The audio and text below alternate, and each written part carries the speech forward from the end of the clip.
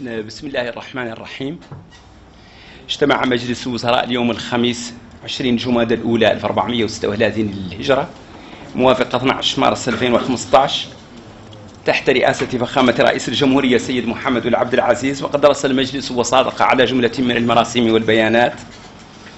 نذكر منها مشروع مرسوم يلغي ويحل محل المرسوم رقم 027 2003 بتاريخ 24 مارس 2003 المتضمن إنشاء اللجنة الوطنية لمحاربة فيروس نقص المناعة المكتسبة السيدا واللجان الجهوية لمحاربة هذا المرض.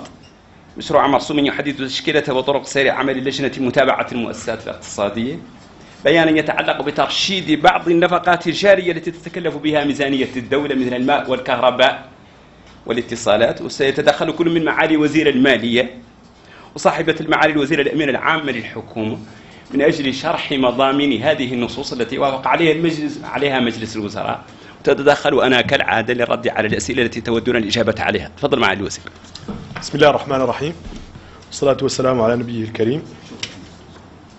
تشرف آه، بالوقوف أمامكم للتعليق على بيان آه، تشرفت اليوم بتقديمه أمام آه، مجلس الوزراء يتعلق بترشيد بعض النفقات الجارية التي تتكفل بها ميزانية الدولة مثل فاتورة الماء والكهرباء والاتصال.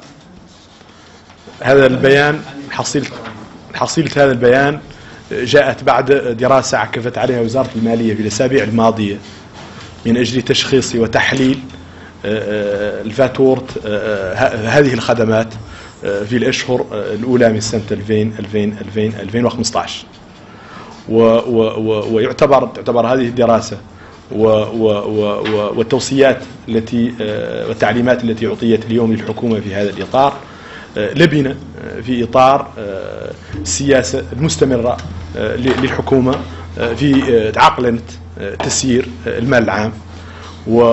وليست هذه هي أول مرة التي يتم فيها عقلنة جميع نفقات نفقات نفقات الدولة وتوجيهها للمجالات الضرورية واللي اللي تمس أكثر حياة المواطن الموريتاني وتنمية وتنمية وتنمية البلد.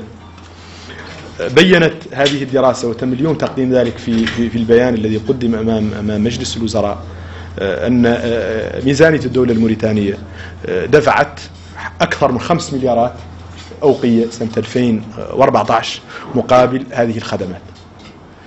كما بين هذا البيان أيضا وهذه الدراسة أن فاتورة الخدمات الثلاث الماء الكهرباء الاتصالات لشهر جانفي 2015 تجاوزت 530 مليون أوقية وإذا اعتبرنا شهر جانفي كشهر متوسط فإننا يجب أن نتوقع فاتورة سنوية تتجاوز 7 مليارات لسنة 2000 2015 أي مليارين أكثر من مما تم صرفه سنة 2000 2000 2014 هذا هو المبرر الأساسي للعمل الذي الذي الذي تم تم القيام به. بينت الدراسة أنه في مجال الكهرباء والماء على سبيل المثال بينت أن هناك حاجة كبيرة لعقلنة الاستهلاك وللاهتمام أيضا بالطريقة التي يتم بها إعداد الفواتير من طرف شركتي صوملك ولايسند بين العمل أن هناك حاجة في في في التأكد من وجود العدادات. هناك هناك هناك هناك أماكن لا توجد فيها عدادات. في عدادات متوقفة عن العمل في عدادات أيضا يجب ان ان ان يتم الالتزام بما هو بما تسجل.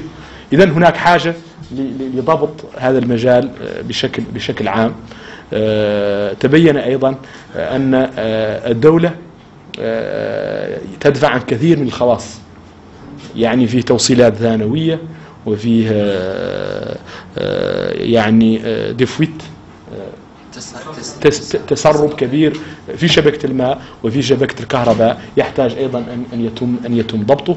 إلى جانب ذلك طبعا بطريقتنا استخدامنا أيضا لهذه الخدمات فيها آه، قدر من الأمور. يمكن عقلنته المكاتب يبقى فيها الضوء مفتوح ليلا آه، الحنفيات يبقى فيها الماء آه، متسرب لا يعني هذه مسائل الحكومة ارتأت أنه يجب آه، تركيز عليها آه، في, في الأيام القادمة وتعليمات من فخامة رئيس الجمهورية أعطيت لجميع الوزارات لجميع الوزراء من أجل أن, أن, أن يفتحوا ورشات تفكيرية في, في, في القطاعات من أجل ضبط هذه هذه استخدام هذه هذه الخدمات الحيوية وعقلنه وعقلنه استخدامها وضبط الفوترة بحيث تكون وزارة المالية لا تدفع إلا ما يجب دفعه إلا ما هو حق.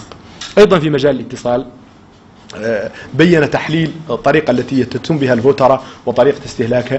مجالات كبيرة يمكن يمكن أن يتم الاقتصاد الاقتصاد الاقتصاد الاقتصاد عليها وتم إعطاء توصيات توصيات واضحة صارمة في هذا في هذا المجال آه، من أجل ضبط أيضا استهلاك الحكومة والإدارات التابعة لها في مجال استخدام استخدام استخدام الهاتف. والتقديرات الأولية هي أنه آه، إذا التزم بالتعليمات التي تم إعطائها اليوم فإننا في شهر مارس يعني فاتور شهر مارس يمكن أن نوفر ما يزيد على 30% من, من, من, من هذه الفاتورة أي ما يعادل تقريبا أكثر من مليارين على سنة 2000 2000 2015 ولست بحاجة لأن لأن لأن, لأن نعرف جميعا أن مليارين من الأوقية يعني كفيلة بأن تحل مشاكل ماء مشاكل كهرباء مشاكل صحة لكثير من المواطنين الموريتانيين الذين هم يعني يجب أن يكون نكون أحرص عليهم من كلام في هاتف أو من تسرم ماء أو من ضوء يبات طول الليل مفتوح بدون بدون بدون بدون نتيجة. إذا البيان كان في هذا في هذا الصدد. آه، السلام عليكم ورحمة الله. مع الوزير أنا اليوم أريد أن أنظر إلى نصف الكأس المليان أو القليل على نصف الكأس المليان. عندما نلاحظ آه، هذه ال big town آه، هذه العمارات الشاهقة التي تبنى الآن في نواكشوط ونلاحظ الرصيف الذي يمتد من المطار إلى مدريد ومن مدريد إلى هي مقدرات مالية هائلة جدا. وبهذه الطريقة التي أنتم تدرون بها الأمور أو حياة الناس تستطيعون الاستحواذ على عقول الناس. هذا لا شك فيه. لكنكم انزلقتم إلى إكراهات المرحلة ومنغصات الديمقراطية. منغصات الديمقراطية منع التظاهر لنساء تواصل الكونفدرالية وأنصار إيران. مكرهات الديمقراطية قضية السنين وهو مربط الفرس. 16 مليار للسنة. بما يعادل مليار و500 مليون للشهر.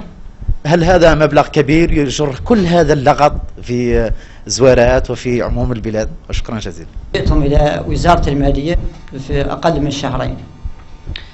آه، الاقتصاد الموريتاني معلوم بأنه يرتكز على ركائز أساسية اللي هي ميزانية التسيير لا أتكلم عن ميزانية التخطيط وميزانية التمويلات الخارجية. السؤال آه، الشركة الموريتانية للصناعة والمناجم عمالها ضاربين لأن مداخل هذه الشركة ضئيلة جدا.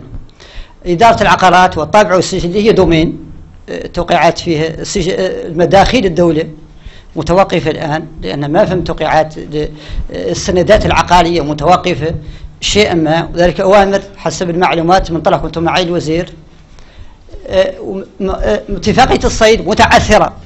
ألا ترون أن المستقبل قاتل بالنسبة لميزانية الدولة الموريتانية في حالة توجه سيركم في هذا الاتجاه آه، الاقتصادي؟ يا معالي الوزير سؤالي سينطلق من التقديم الذي تقدمتم به والذي قلتم فيه إن الدراسة بينت أن هنالك حاجة كبيرة لعقلنة الاستهلاك والاهتمام بالطريقة التي يتم بها إعداد الفواتير. آه، هل يعني هذا اتهاما لشركة الماء والكهرباء بإعداد فواتير خيالية كما يحلو لبعض المواطنين آه، أن يتهموا. وتحدثتم كذلك عن تفاصيل عن تعليمات. ما تفاصيل هذه التعليمات؟ هل تعني مثلا تحديد تحديد سقف أعلى لنفقات مؤسسات الدولة؟ آه، ما تفاصيل هذه التعليمات؟ سيد الوزير وزارة التجارة سلم لها برنامج أمل 2012 اللي نسلم لها حصلت النتائج التالية. 292 بوتيك ضربة في ثلاثة. عدد الدكاكين. 292 بوتيك. عنده مسير ضربوا في ثلاثة عنده مسير عنده مراقب عنده وزان. هذا عدد العمال اللي هي أنتو 951 تقريبا. وجدت 118 ما هي موجودة على لوائح برنامج 2012 118 ما هي موجودة تخلص. ضف. أعلن فيه 13 منسق. ما عدا الرياض وتوجونين فيهم منسقين. كلهم فيهم منسقين. سيد الوزير. السؤال المطروح. هل هذا التحقيق يسبب ملاحقات؟ ضف إلى ذلك أن كانت فيه نفقات قوية على البرنامج يتحملها كاهل البرنامج. فيه مصاريف المتابعة للحكام من 120 ألف إلى الولاة 300 ألف إلى المستشارين 600 ألف. سيد الوزير متى ستنتهي هذه المغالطات للرؤساء وللشعب الموريتاني؟ خاصة ولن في الأخير البرنامج العام متابع ويقول والبعض يقول لك لأن فيه ملاسنات أو فيه الحكومة السابقة والحكومة الحالية. ما في شيء هو إلا تحقيق فقط. سؤال نبغى نعرف نسبة آه، كم يمثلوا نسبة الرواتب من ميزانية الدولة؟ وشن هي مقارنتها مع ميزانية التسيير اللي تصرف من ميزانية الدولة؟ شكرا. في مقارنة شوي بين آه، معالم سياسة التغشف اللي تنتهجها حكومتكم. والله حكومة آه، الوزير الأول واللي تحدثت عن ذلك عن نموذج منها في إطار وقدمت هذا مشروع البيان اللي قدمته اليوم خلال مجلس الوزراء واللي يقضي بتقليص فواتير آه، استهلاكات الماء والكهرباء والاتصال. آه، منين آه، نرجع المشروع الميزانية المقدم المصادق عليه من طرف البرلمان سنة 2014 نجبروا على نفهم إدارات عندها مخصصات مالية هائلة وهذه المخصصات المالية الهائلة تستهلك خلال مراجعة دائما المراجعة الميزانية وتعديل دائما تعديل الميزانية. يظهر على أن هذه الميزانيات يتم استغراقها بشكل نهائي. ولا نعطي نماذج منها بالاسم وبالتحديد للإدارات. من هذه النماذج مثلا على سبيل المثال عندنا اللي قالوا إدارة الأمن مخصصاتها المالية تتجاوز أكثر من 300 مليون في شقين. في شق تغذية ما يسمى بعناصر الأمن وهكذا حددتها مشروع الميزانية. تغذية عناصر الأمن وهذا نعرفه على أنه ما هو موجود ما فيه اليوم مفوضية يتعيش ما هو على نفقات الأفراد من أنفسهم اللي يوفروها هم لأنفسهم وبالتالي هذه أموال هائلة تهدر أدراج الرياح. المسألة الثانية المتعلق آه، في ميزانية تقارب المئة مليون مخصصة للموقوفين عند مخابر الشرطة. عند مخابر الشرطة. وهذا نعرف أن تغذيتهم دائما إما من جيوبهم أو جيوب ذويهم. أين تذهب هذه الميزانيات؟ وما فائدة سياسة التغشف ظل وجود تشريع لاستهلاك المال العمومي في إطار القانون؟ وأنا مسؤول عنه بسيط وموجز. على ذكر الدراسات آه، اللي مرجو أن تحسن الإطار العام المعيشي للساكنة الموريتانية هون مبدئيا قال لها شريحة المتقاعدين. ومطروح كان وحس على حسب قال الوزير كان هون سابقكم عن فهم دراسة شاملة معدلة اللي هي تراجع العلامات القياسية والتراجع من وضعيتهم وإحنا كان كانوا طالبين زيادة. آه، ونختاروا نعرفوا كان ذيك للدراسات. آه، كان فين الدراسة ومنين لحقت. هون رواية عند شريحة متقاعدين ضرك عن إحنا هذا تريمستر الله نراو ان شاء الله ضرك عن في زيادة وهذه ما شملت في القانون المالي الماضي. والله قاع الوزير كان هون قال لنا عنها فعلا. القضايا ما هي مرتبطة. زيادة الخلاصات وزيادة الرتب ما هي مرتبطة هذا معقول؟ يا قياد كانت من تخلق. نختار نعرفوا يا كان ذا خارج والله ما هو خارج وتو. شكرا جزيلا على على الأسئلة. فيما يخص التدخل الأول أو السؤال الأول. أنا بعد ما قديت نفهم منه يكون على آه، طبيعة الحال إن, إن في طبعا عمارات بدأت تظهر آه، في في في في في مركز العاصمة. وهذا ليس لا يفاجئنا لأن هناك هناك نظرة منذ سنوات من أجل أن أن أن أن أن, أن, أن تغير واجهة واجهة واجهة العاصمة وتجسدت في أمور كثيرة ليست ليست هذه العمارات. العمارات العمارات فقط وليس تسوية الشوارع اللي اللي من عند كارفور مدريد اللي ذكرته. فم معالم أخرى كثيرة تندرج في إطار هذه السياسة. الأمور ما تقدر مرة واحدة وراجينا فترة وجيزة تعود تعود تتناغم وتكتمل وتعود النظره واضحة آه، وإحنا حاسين بها ونراعوا فيها. مثلا ما إن العمارات تعدل. شيخ قرابط الصا بسنيم ومليار و500 وهذا هو اللي ما استوعبت حتى. قال بعد أنا اللي فهمت منه أنكم تختاروا تقولوا أن ظرف إذا نبتوا الامكانيات ثبتها لماذا عمال سنين ما يعدل. ما ظهر لي اني هو اللي لعبت هو اللي فهمت. لا هنا لا هنا. ظهر لي هو هو السؤال. لا هي أنا بعد ما نعرف قاعد الموضوع الحقيقة لا الموضوع ما هو متعلق حتى بالبيان هذا لا لا لا نعدل تعليق وتوف عام. ونقول علن علن خارج المسائل أيضا. لا تخطئهم العين. وشكلكم أنتم ما يلا يفوتوا عليه من بينهم المسائل الأساسية الازمه اللي فيها القطاع المعدني حالا في العالم كامل انه على انه يشهد أزمة وأزمة عالمية ما تتعلق إحنا ما ما ناثر عليها خصوصا من قطاع الحديد وعلن آلاف الشركات تم إغلاقها بشكل نهائي في هذا القطاع لأن هناك سياسية سياسة من الكبار يعني الشركات الكبيرة في. في المجال لياك تقفل المنافسة ونزلت الأسعار بشكل كبير نتيجة وأيضا قضية الطلب العالمي على المادة والسياسة على أن هذه الشركات تنقفل. وشركة تسنيم واللي نخلصوا في الدول لا تعدلوا بحث بحث قليل في الدول اللي مجاوره القطاع المعدني نقفلوا فاتوا فيها شركات نقفلوا بشكل نهائي. وين نقول لك في شركه ما نقول لك فيها نقول ما تلقى فيه عمال. وين نقول ما تلا فيه عمال؟ ما تلاقوا فيه أجور. اذا ما تلت فيه زيادات للأجور. بالتالي الهدف عند هذه الشركات كاملة. فترة من ذا الشكل هي المحافظة على وجود الشركة والمحافظة على العمالة فيها.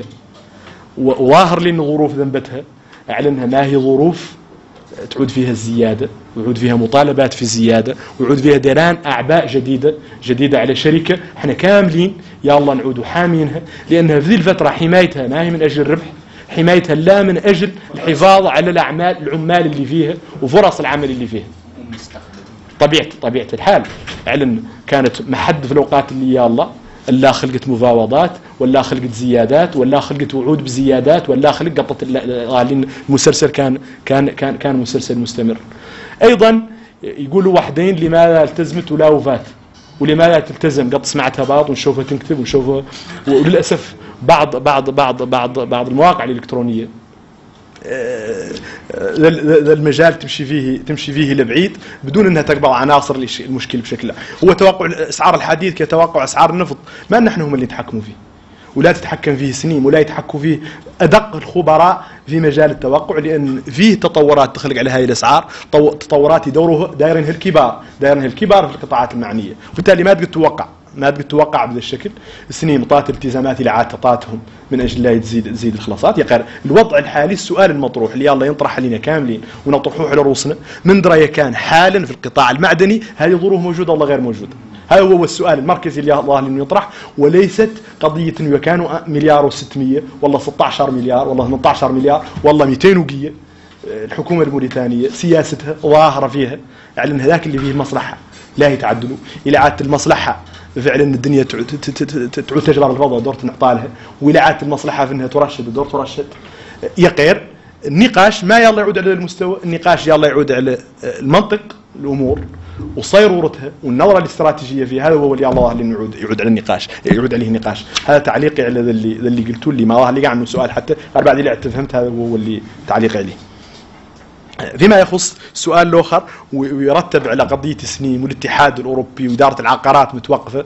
من دري كان هذا ما هو لا ياثر على على ما هو لا يدخل هي مداخلها متوقفة. من دري كان ما هو لا يأثر على ميزانية الدولة؟ كيف قلت كيف قلت كيف قلت آه، ميزانية الدولة انفتحت كيف تعرفوا؟ مجلس الوزراء قبل الماضي آه، كنا هنا أمامكم في نقاش افتتاحها الأمور ماشية بشكل طبيعي. الدولة عندها كامل إمكانياتها وهذا ما جاء من فراغ. هذا هو السؤال اللي ذكي اللي الله ينطرح لماذا معها كل هذه المشاكل؟ الحكومة استطاعت الأمور تعود طبيعية. لأن هذا يخطط له في الوقت. ما حدنا مرحلة معينة عندنا إمكانيات ومحد هاي الإمكانيات اللي كنتوا تقولوا. ما وجهت للبنود اللي لا تعود فيها مترتبة وفرص عليها تخلق. دارت بنى تحتية. دارت في نفقات ما زادت بها ميزانيه ميزانية الاستهلاك اللي هو البجد دو فونكسيونمون اللي أم بيدجي راه لا يتم لا يتم لا يتم خالق. معناها الدولة تخطيطها فوقات فوقات. يقولوا وحدين دور تعود لا شنو هي فائده العملة بنك بنك سنترال مقفول عليها؟ وشنو هي فائده دور سمعتوه كان العمال الماضيين. وشنو هي فائده رصيد الخزينة؟ فائدته ذهي في وضعية في أزمة عالمية. وفي ضغط ونبت وفي نقص مداخيل كانت خالقة. تعود الدولة عندها الإمكانيات اللي يقدوا مواطنينها اللي عادوا قدوا ما يحسوا بنفن ما يحسوا ما يحسوا ما يحسوا ما يحسوا. هذا هو هو أبلغ جواب على هذا الشكل من من الطرح اللي اللي اللي اللي, اللي, اللي ذنبته. سؤال ثالث طرح من ركان ذي اللي ذي الاقتراحات اللي اللي اقترحت اليوم في البيان وصادقت عليها الحكومة هي كان فيها اتهام للشركات بعدم ابدا ابدا. فيه مسؤولية مشتركة. بترشيد. وهذا من اللي ما يلا ينفهم على إنها مسألة جديدة. هذه كانت إلى إلى نرجعوا لأن نرجعوا لتطور الأمور في السنوات السنوات الماضية. يجب على السنة الماضية خلق فيها ترشيد والسنة السابقة خلق فيها ترشيد. يا غير إحنا إحنا هدفنا لأن نستمروا نحسنوا الأمور ندقوها. وكل ما قدينا نحسنوها نحسنوها. ولا هي مرتبطة بالأشخاص ما هي مرتبطة بالحكومة. هذا النظام هذه هي سياسته العامة. واي حكومة جات جات لتنفيذها واي وزير جاء جاء لتنفيذها. وبالتالي ما تتعلق بالأشخاص ولا تتعلق بالمناصب ولا عندها علاقة بها هاي سياسة مستمرة ورؤية واضحة من النهار الأول يا قير شي قد يخلق ذاك وشي مانع تضرهم يخلق ذاك أولوية في شيء لا يخلق نهار واحد وصيرت الأمور تنفهم في هذا الإطار. أه سأل أحدكم عن أيضا برنامج أمل و, و, و سقف أعلى هل هنالك سقف أعلى للاستهلاك وقضية سجناء الخزانة. آه صح صح صح صح. فيما يخص هل هناك سقف سقف عام تم تم تحليل كما قلت البيانات الموجودة عن عن عن عن الاستهلاك و و و و وكل الإجراءات التي ستساعد في تحسين وترشيد وعقلنه الاستهلاك والعبء على ميزانية الدولة آه سيتخذها بشرط طبعا لا يؤثر ذلك على عمل الإدارة. لأن أيضا عمل الإدارة إعاقته ستكون عندها نتائج عكسية. وبالتالي نحن أحرص على أن الإدارة تكون في, في جو وفي إمكانيات وفي ظروف تقدر تعدل العمل العمل الله يوصل يوصل يوصل للمواطن. إذا هذه هذه هذه العقلنة لن لن لن لن, لن, لن تصل إلا إلى المسائل اللي لا لا تعيق العمل ولا تضر ولا تضر ولا تضر العمل اليومي للإدارة. ذكرتم سجناء الخزينة تعبير تعبير تعبير تعبير فاهم يا غير تعبير لا أتفق لا أتفق لا أتفق بالضبط. هذا هذا ملف عند العدالة. إحنا ما عندنا به كحكومة وكجهاز تنفيذي ما عندنا به ما عندنا به أي أي علاقة. ولا نعطي فيه ولا نعطوا فيه لا نعطوا فيه يكون خلق العمل اللي يلا نعدله والملف أمام العدالة. لكن لا يعدل القضاء. نحن نحترمه سوى وشنو. قرار ترحيلا من العدالة. طبيعه الحال الملف أمام العدالة السجن في العدالة السجين ما دام سجين متهم أمام العدالة. الحكومة ما عندها به ما عندها به ما عندها به ما عندها به علاقه سأل أحدكم عن برنامج أمل أيضا و191 291 بوتيق و181 هذا لا كيف قلت يديروا حد في الإطار اللي سياسة الدولة سمعتوا؟ الفنية والمنطقة تفرض لا لا يخالف سيد الكريم. سيد الك... سيد الكريم سيد الكريم سيد الكريم آه أنا قلت عباره برنامج أمل بحد ذاته لا من عمل هذه الحكومة وبرنامج عدل برنامج أمل مقارنة بما قبله كان تطور يقر برنامج أمل. ك... ك... كجهاز تجربة ما كانت خالقة وتجربة تتعزز وتجربة تقبل تقبل بالدروس من من المراحل القادمة. ولا تفهموا أنه يكون لا يتم مسلسل مسلسل في تحسن. اذا ما يفهم حد منه ولا يحاول يفهم إلى خلق تحسين. برنامج معين نتيجة لدراسة تقييمية تم عدلها سوى برنامج أسوأ أمل وسوى برنامج آخر. أعلنوا معناها أعلن ذاك اللي كان معدل ما هو صالح. والله إنه كذا والله إنه كذا. أنا بعد ماني شاك ان هذا. أنا ما نفهم الأمور في هذا الإطار. نفهم الأمور ما نفهم الأمور في هذا الإطار. نفهم الأمور ان كل مرحلة ومرحلتها. برنامج أمل لين يبدأ مع بدايته. في في حاجة كبيرة للتعطير بهذه الباثيق لا هي ينفتحوا لا هي شنو هي الكريتير اللي الله ينفتحوا به وشنو هو اللي يرسموا فيه. راك عاد أن ديسبوزيتيف رودي مثلا يشتغل وحده تقدر تعود خفت حاجة تعطير الأمور تنفهم في الإطار بدلا ما تنفهم في, في إطار آخر. العمل الحكومي عمل مستمر. عمل مستمر. سي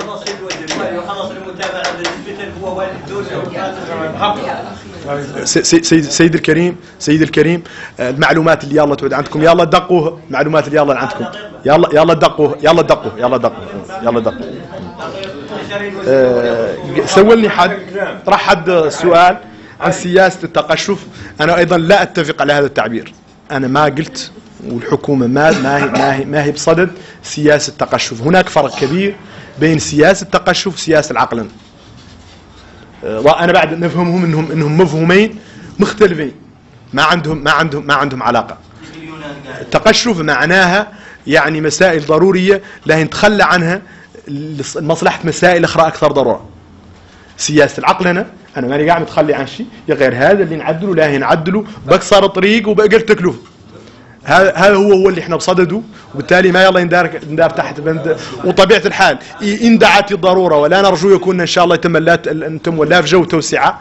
علن علن علن علن علن علن هم اللي لا تعود لا تعود تعود تعود أحسن سياسة دور لا تنقبل وين قال انها انقبضت يا قال إحنا بعد اللي بصدد ورك ما هو سياسه ما هو سياسه ما هو سياسة تقشف. زدنا الأجور. سنة 2015 هذا ما هو علامة ما هو علامة سياسه تقشف. فتحنا الميزانية. في الشهر الثاني من من من من من, من السنة. هذا ما هو مارس سياسة تقشف. ما فيه اليوم متأخرات.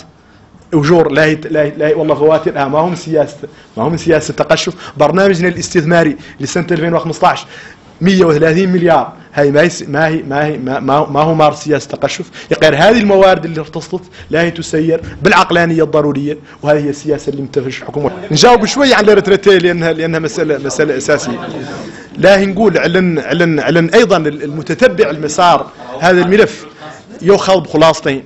يؤخذ بان هذه الشريحة إنها طبعا شريحة ما انقبضت بعين الاعتبار في, مختلف مراحل اللي مرت بها الدولة الموريتانية وسياساتها.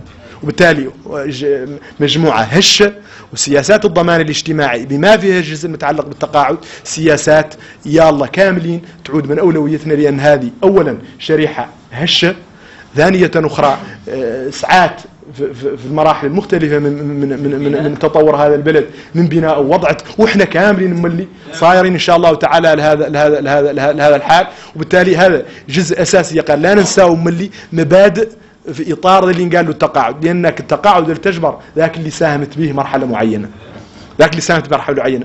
الحكومة الحالية ظهر لنا عدلت اجراءاتها مراحل معينة كل ما سمحت الضرورة. والآن صندوق التقاعد عنده ان ديفيسيت ده كلك مليار ده كلك مليار طبيعة الحال ان الحكومة السنة الماضية آه، متباركة من نهاية 2014 متباركة مع تعدل تصور الحل هذه المشكلة في إطارها العام ونأكد لك رئيس الجمهورية على أنه حساس ومهتم بهذا بهذا بهذا الملف وأنه أسرع وقت وأنجح حل يمكن يمكن وضعه. غير الحلول الجزئية والحلول غير متكاملة والحلول ما يتحل المشكلة لا تزيد تكالف ولا تحلها. خلونا نعود عندنا حل يقد حق حق يعطي حلول نهائيه لهذه المشكله السلام عليكم ورحمه الله Donc je vous remercie. Je m'en vais vous expliquer les grandes lignes du projet de décret euh, comment dire, présenté aujourd'hui en Conseil des ministres qui concerne euh, de revoir les objectifs fixés pour le fonctionnement et les attributions du Comité national de lutte euh, contre le sida.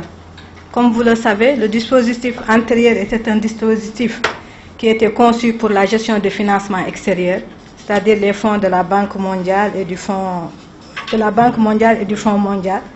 Et avec la création du Comité national de lutte euh, contre le sida avec un secrétariat exécutif national, des structures sectorielles et des structures régionales. Et ces financements permettaient de prendre en charge ces structures-là au niveau euh, au niveau de leur euh, comment de leurs exercices, leur fonctionnement et les activités qu'ils devaient mener. C'était fait dans un cadre de convention. Mais en 2009, avec une restructuration, les fonds ont été logés au niveau du secrétariat exécutif national. Et maintenant aussi, euh, le, mode de financement a un peu changé parce que l'État maintenant intervient. C'est un financement du budget de l'État ce qui a obligé aujourd'hui à ce qu'on change le fonctionnement de ces structures et son pilotage. Parce que maintenant, avant c'était des, procédures Banque mondiale et mode de financement extérieur. Maintenant, il faudrait que ça s'aligne vers les procédures d'exécution d'un budget État. C'est pour cela qu'aujourd'hui, on a adopté ce projet de décret. Maintenant, le pilotage, ce sera le Comité national de lutte contre euh, la lutte contre le sida qui va être présidé par le Premier ministre avec les structures, les départements concernés. Et il y aura un comité de pilotage euh, allégé pour pouvoir euh, s'occuper du fonctionnement effectif des activités et l'adoption des plans d'action et autres. En fait, Vous venez de changer le mode de procédure de financement de- du projet. On pensait qu'à l'époque, euh, il y avait beaucoup de, de malversations, beaucoup de mauvaise gestion. C'est à pousser l'État à prendre ces nouvelles mesures.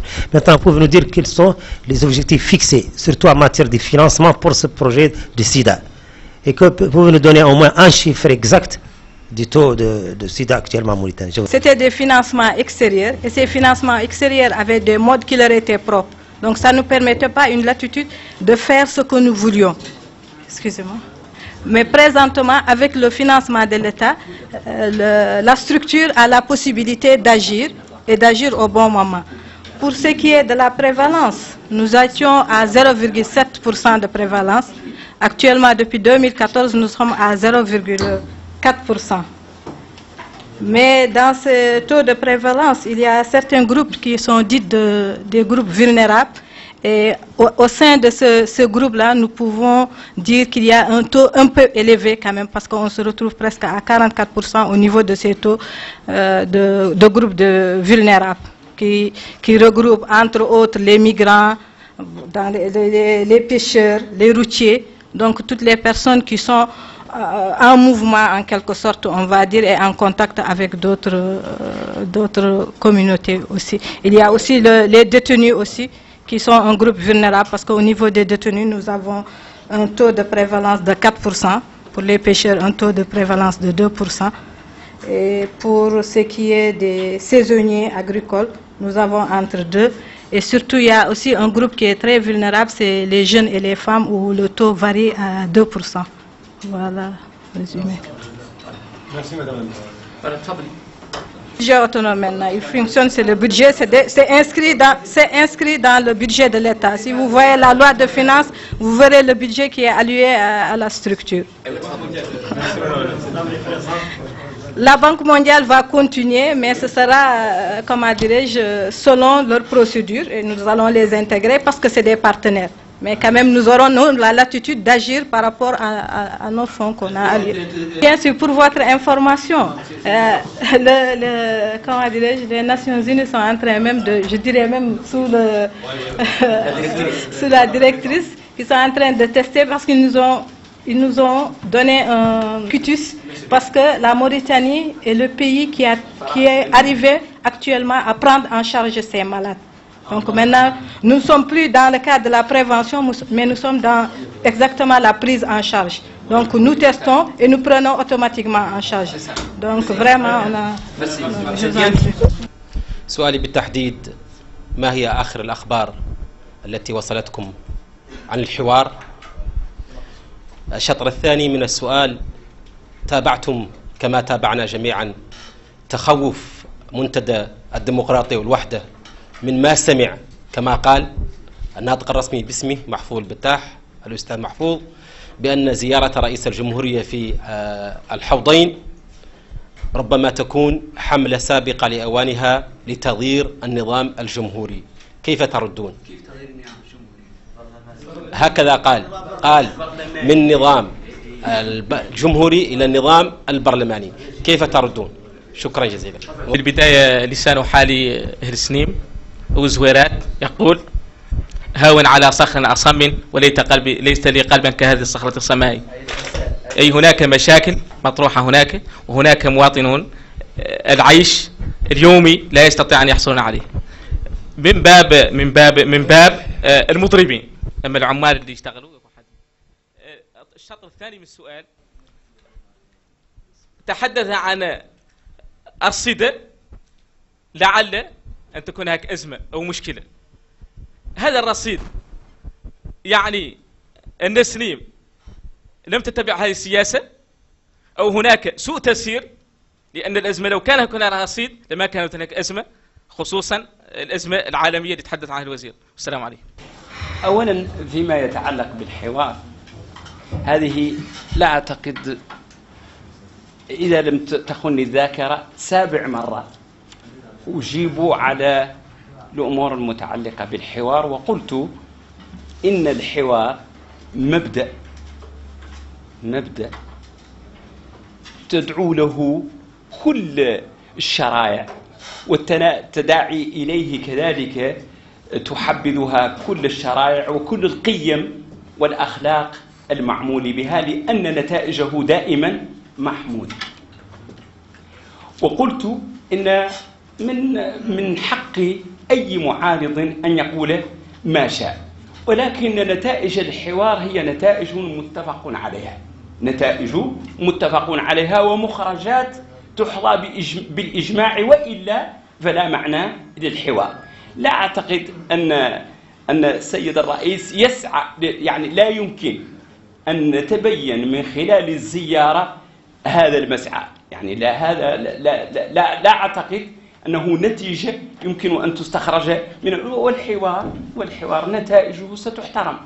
نتائجه ستحترم ولكن على المعارضة أن تستجيب أن تستجيب في الوقت المناسب لدواعي الحوار في الظروف الراهنة. ومن من ثم سنرى ما إذا كنا نسعى إلى سعي فلهم سعيهم ولنا سعينا وكل يسعى لغرض يريد أن يحققه هذا أعتقد أنه هو هو الجواب المناسب أه؟ هو الجواب المناسب لمثل هذا لمثل هذا السؤال. بالنسبة للشفافية التي تحدث عنها معا. قال بأن هناك حكمة عربية أنا أريد أن أجسد مداخلته هو لأن هناك حكمة عربية تقول احتفظ بدرهمك الأبيض ليومك الأسود. بمعنى بمعنى أن العقلاء والحكماء يدخرون من مساعيهم ومن مكاسبهم لأيام الشدة هذا هو ما أراد أن يقول هو وزير المالية وقد عبر عنه بإبانة تامة بإبانة تامة ولكن العرب يجسدونه في مثل مشهور. احتفظ بدرهمك الأبيض ليومك الأسود بمعنى أن من الرخاء تدخر إلى يوم الشدة لتنفق وفيما في فيما يتعلق بال بال بال بال بالسنين أيضا هناك تدقيق على على على على التدخل أن الشركة فعلا تعهدت إدارتها أن تزيد العمال. ولكن متى تعهدت؟ أعتقد أن التعهد كان في إبريل وأن الموعد كان في أكتوبر لا لا أقول نهاية سنة أنا أعني ما أقول. أن الموعد كان في شهر أكتوبر إذ ذاك كان سعر الطن الواحد إن لم تخن الذاكرة 156 دولار. أما اليوم فسعر الطن 59 دولار اليوم. والشركة الشركة ليست شركة مقاصد حميدة بيانفيزانس يسمونها بالفرنسية. يعني هي ليست مق... هي شركة للأرباح. ومجلس إدارتها هو الذي يوافق على الزيادة. وعندما عرض هذا الالتزام المبدئي من الإدارة على مجلس الإدارة رفض لأن مجلس الإدارة يريد الربح. فلينتظر إلى يوم اليسرى. لكم الشكر والسلام عليكم.